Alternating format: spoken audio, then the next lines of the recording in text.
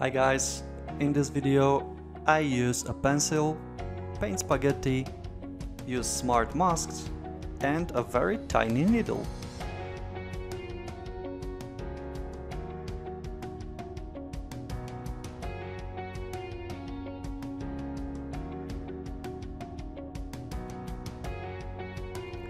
I choose this model because of the unusual painting scheme. It's going to be built out of the box and the plan is to have a fairly relaxing and fun build.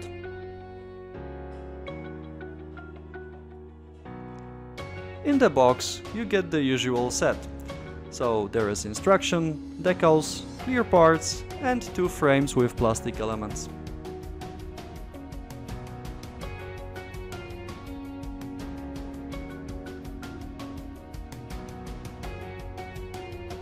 All look pretty good, so let's start it.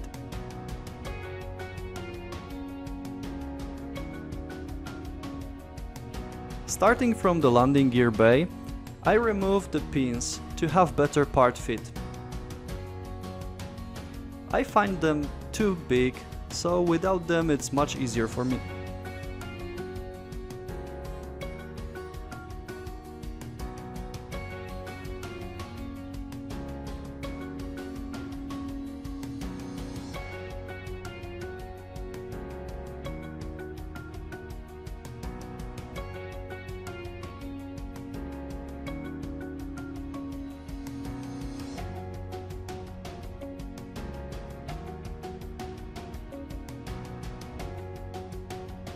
Aluminum color goes in when I have all parts ready.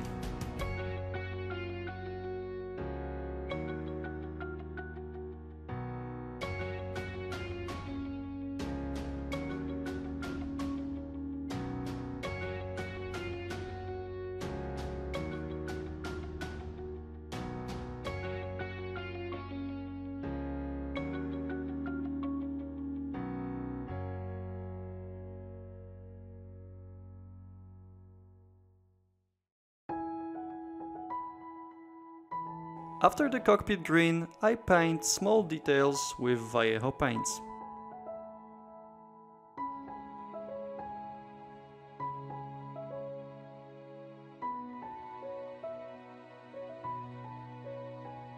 The instrument panel decals go on microset and once dry I add microsol so they stick to the surface.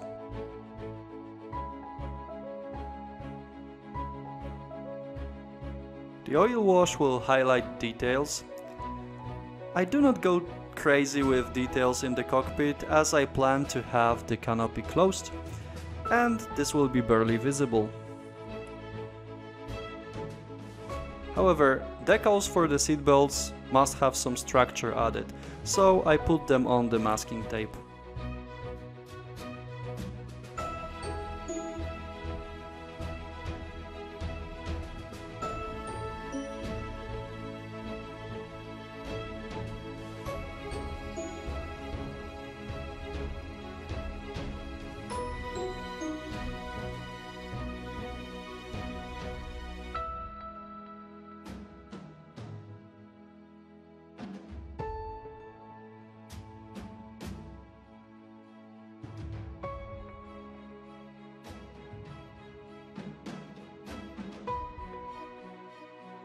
A lot of elements inside have to be aligned, so before I close the fuselage I check if all goes together well.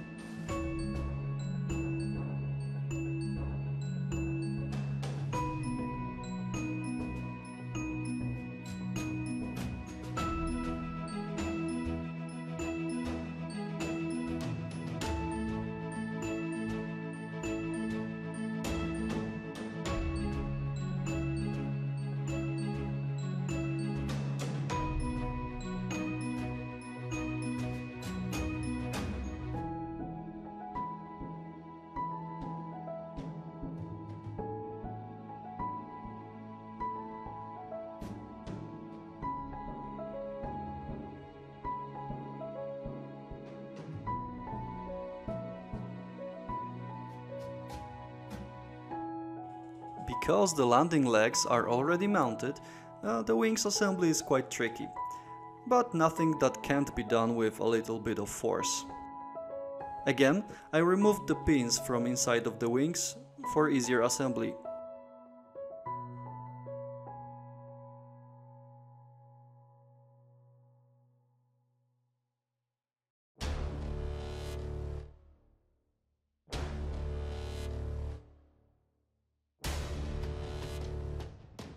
Joining wings and the fuselage is quite tricky, but it went okay after I sanded down this back section of the wing.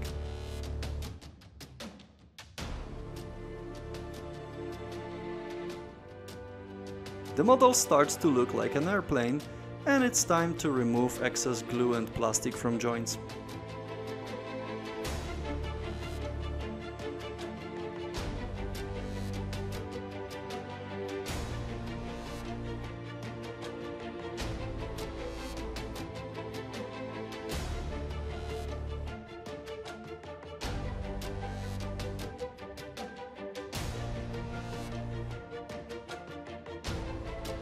For tiny gaps, I use Mr. Hobby Primer. The goal is to keep the panel lines, so the gap is not filled flat. The excess can be removed with thinner, and the result is quite good I think.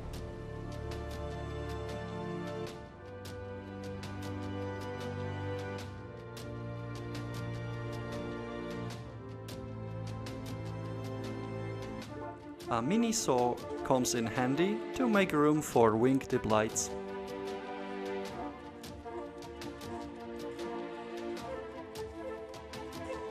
Landing lights got chrome color inside and I put them in place.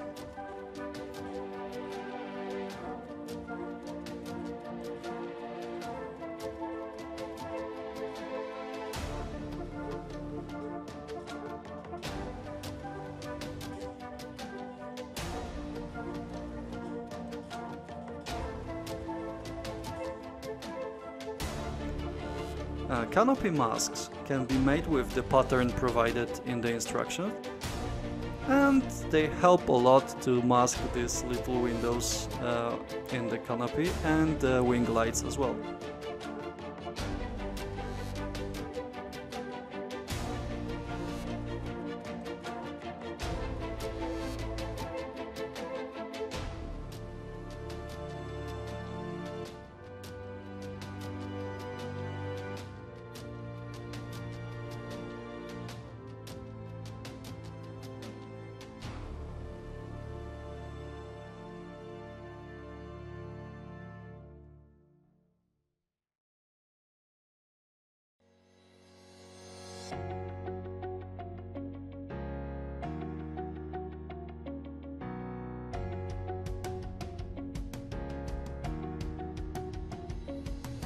The whole model gets a primer on and after that I put it aside to dry. In this time I work on smaller elements like wheels or exhausts.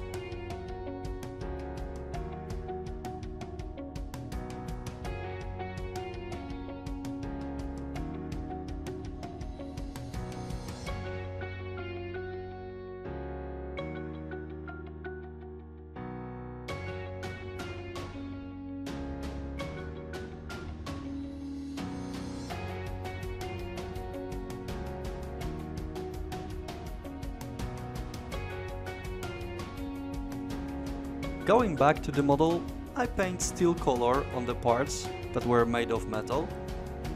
Part of this color will be visible on the front of the model and wings leading edges, and the rest I'm going to use as a base for chipping.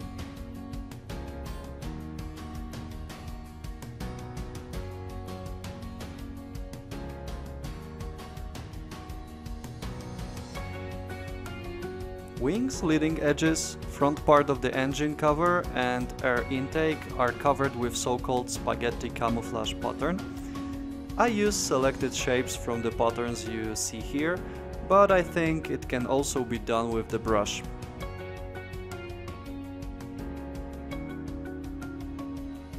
Arma Hobby has some nice reference pictures of this aircraft on their website. Based on that, I'm going to make the spaghetti pattern look faded where it was exposed to the sun. I use steel color mixed with a lot of thinner and slowly add few coats.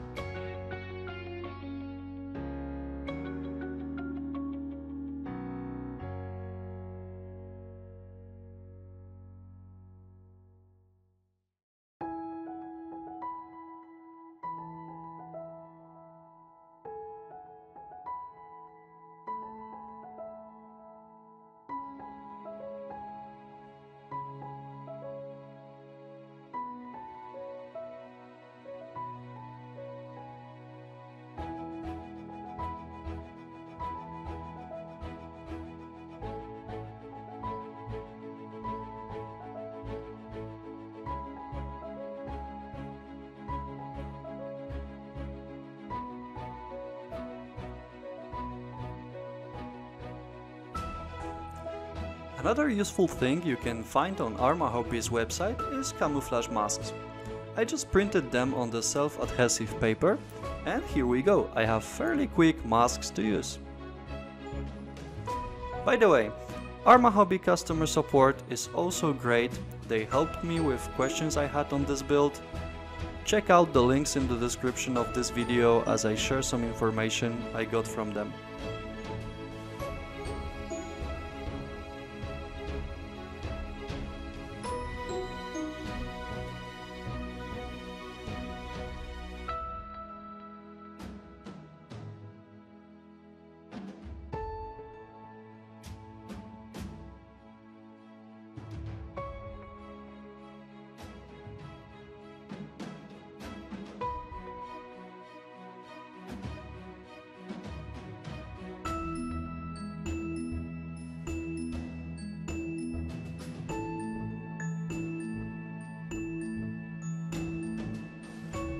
For spots and shapes that can be easily masked, I prefer paint instead of decals.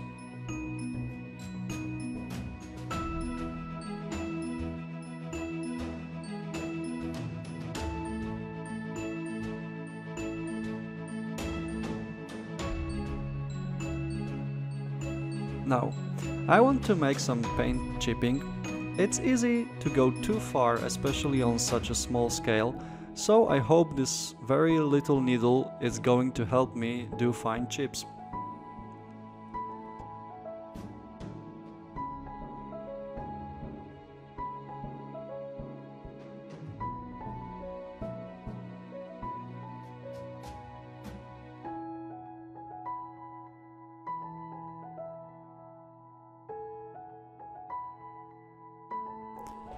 Before decals, I put a gloss varnish coat on the model.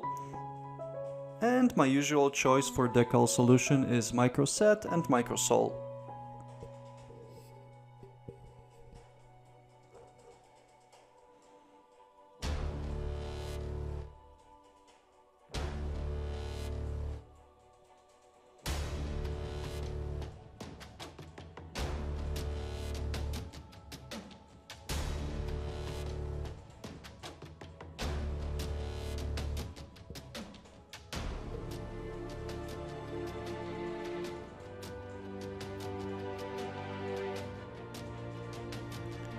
To make the exhaust look better, I use AK pencil and gunmetal pigment after.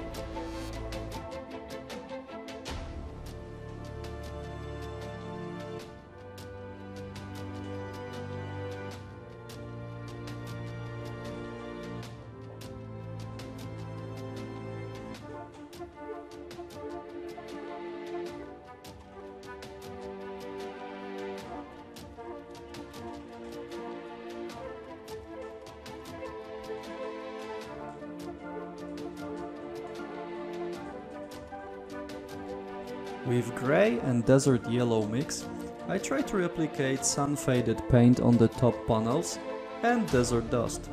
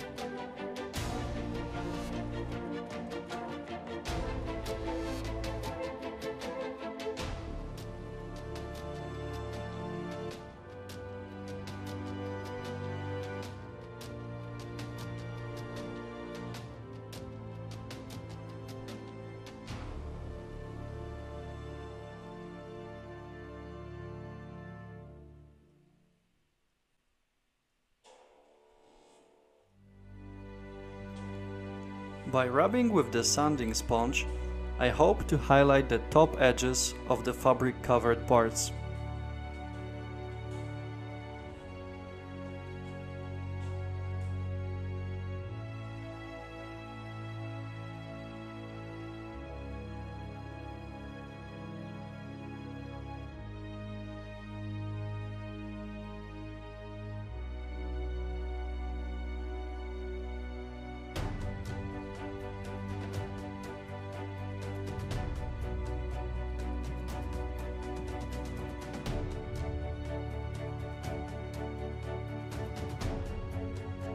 With oil paints I try to make colors less uniform.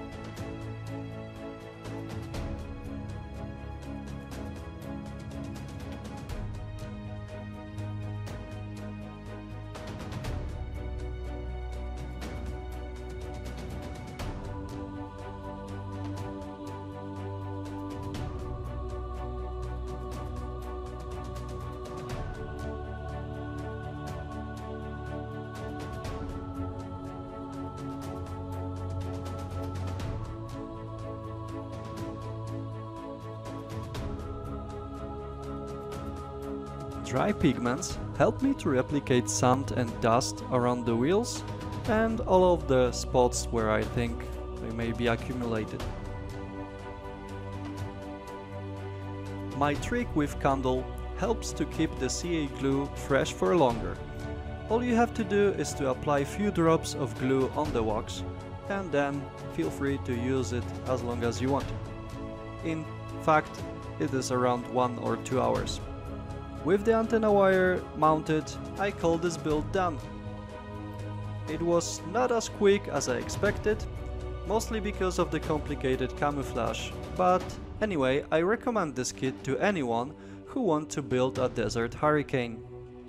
Hope you enjoyed this video, if you have, please give me a like, and of course subscribe the channel if you haven't done so already.